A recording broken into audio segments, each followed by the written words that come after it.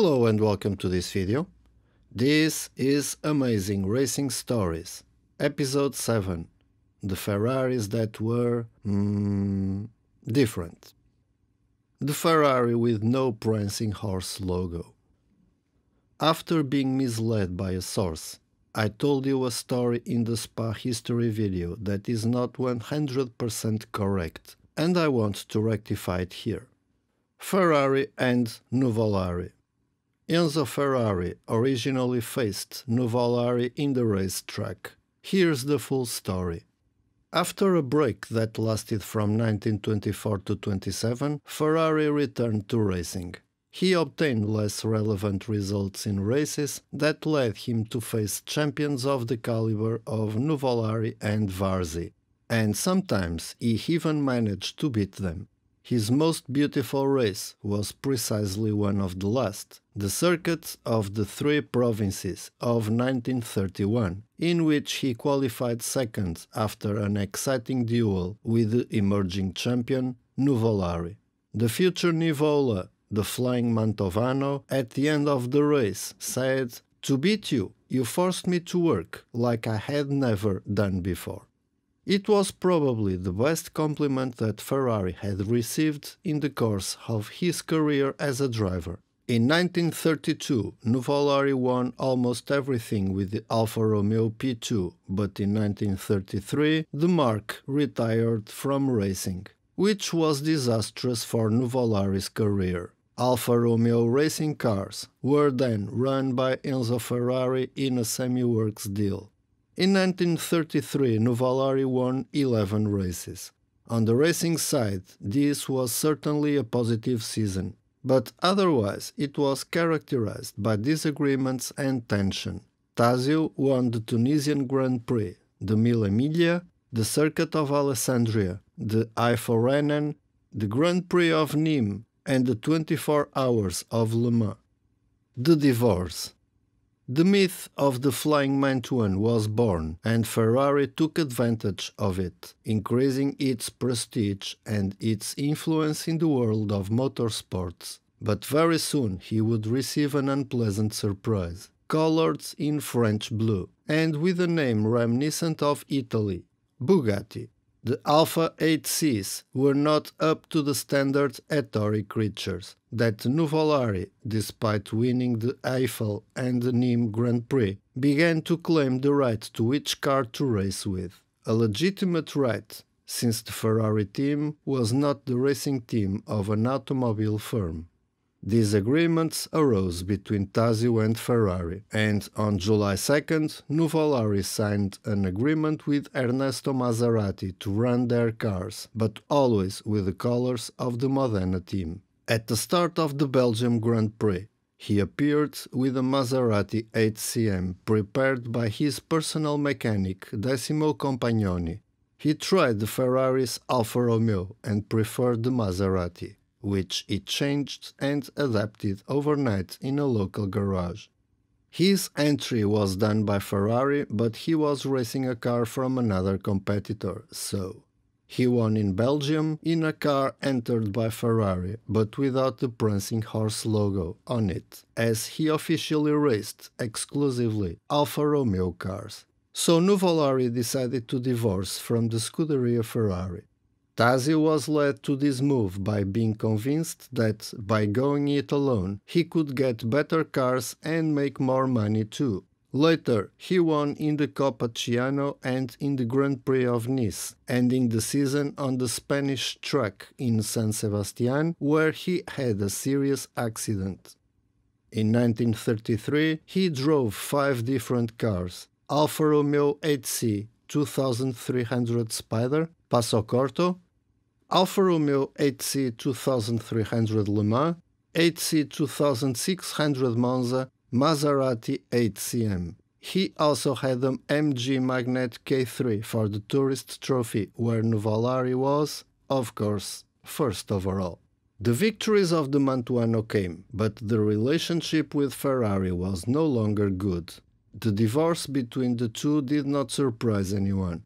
What is more, the consequences that it would cause would end up favoring Enzo Ferrari. Nuvolari and Borzacchini left, but Alfa, perhaps fearing that he had lost the best driver of the moment, had agreed to deliver the much desired P3s to the Ferrari team. In addition, Luigi Fagioli arrived in Modena, where Giuseppe Campari also returned, although the latter would meet his death at the Monza circuit that same year in an accident that also involved the unlucky Borzacchini and the Polish Count Czaykowski. Fagioli, in any case, won repeatedly. The season closed with a positive balance. Peace with Ferrari.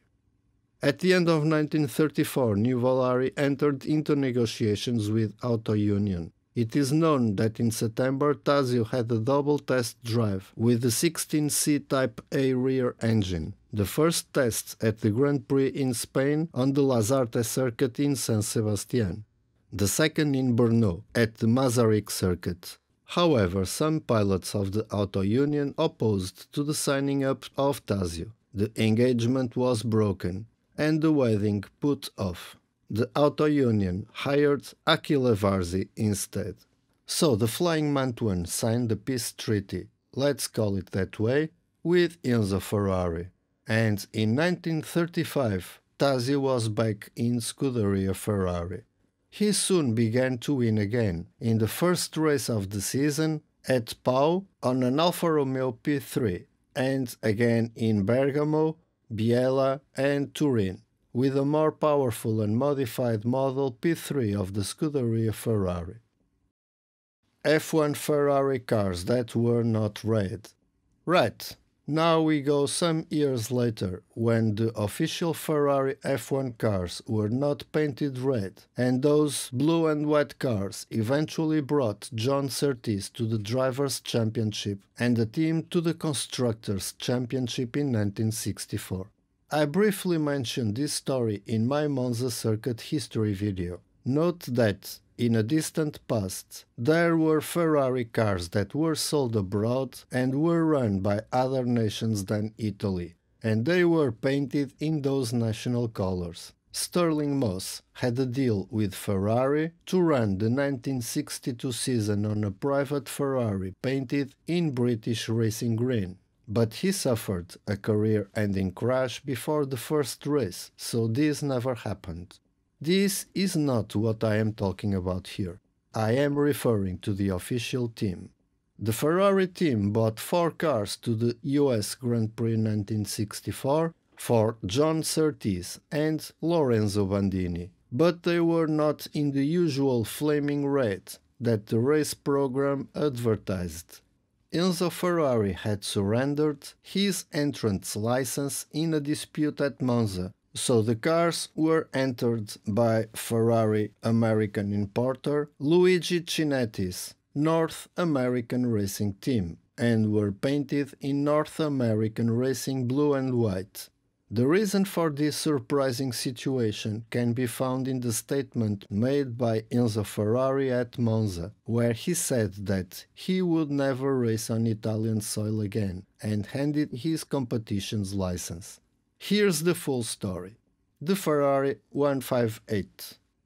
The 1964 season saw Ferrari bringing V8 engines back and introducing a monocoque chassis for the first time. The Ferraris 158, driven by Lorenzo Bandini and John Surtees, collected a total of 7 podiums, 2 pole positions and 2 wins in a total of 10 races. The original chassis design which was used until the US Grand Prix at Watkins Glen, was painted in the traditional Rosso Corsa and was equipped with beautiful turquoise rims. At the time, F1 teams raced in national colors. Italian colors are sky blue for traditional sports and bright red for motorsports. Right before the last two rounds of the season, however, FIA and the Italian Automobile Club, ACI, made a decision which would cause Enzo to completely lose the red for the rest of the championship. Enzo's anger. The story begins in 1962. Enzo wanted to homologate his 250 GTO to compete in GT racing. However, the Italian Automobile Club and the FIA regulations at the time required a minimum of 100 road models of a car to be produced before obtaining homologation for racing. Ferrari wasn't able to produce so many models, but managed to trick the FIA and the ACI into believing that requirements were met. Fast forward 1964, and Ferrari wanted to homologate a new race car, the 250LM. However, this time the FIA wasn't easily fooled, and the Scuderia saw their request denied. ACI failed to back Enzo Ferrari in his discussion with FIA, having been fooled themselves. And Enzo was so angered that he decided to sever all ties between Ferrari and Italy. He gave up on his competitor's license, and both the American and the Mexican rounds of the championship were raced in particular conditions. On the grid, Ferrari was represented by the satellite constructor NART. It might sound absurd to today's audiences, but it was perfectly regular back in the day, and raced in a white and blue outfit. John Surtees finished second in both races, and after both championship wins, Enzo's threat to never race in Italian colors again was very short lived. To reach his goals, Enzo Ferrari has always been very political and he liked a tense ambient surrounding him. In politics, between drivers, in the factory, and in the race pit.